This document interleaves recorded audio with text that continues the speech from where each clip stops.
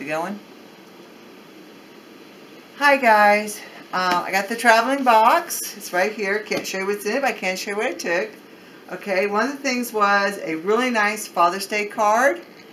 Um, I took that. Today is Saturday. Tomorrow's Father's Day. So I already got a card, so I'll give one to my father-in-law and the other one to my husband. Probably give my husband the better one, because to be honest with you, the other one's from the dollar store. Okay, and then I got a set of these coasters. They're really, really cool. Um, let me take them out of the bag so you can see them.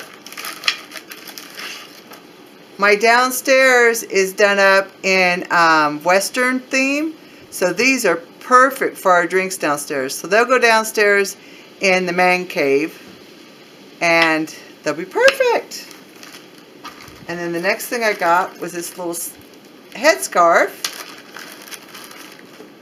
that I can wear in the winter when I'm doing the, uh, oh, snow removal, when I'm shoveling snow. Because I have a real problem keeping my ears warm, so I can put this on and then put my head over the top of it, so that's perfect. Anyway, these are the three gifts I got. And I need glasses. Hold on, guys. I'm blind as a bat. The coasters came from White House on the Hill. Thank you, guys. I really like them.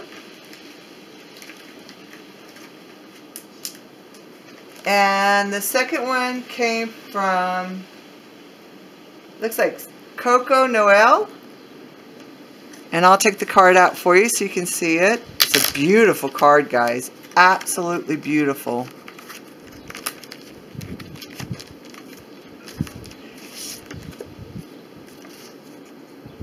Check that out, and it's hand done. Isn't that beautiful?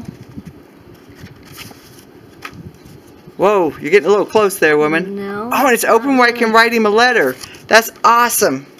I'll just write him a little love letter in there.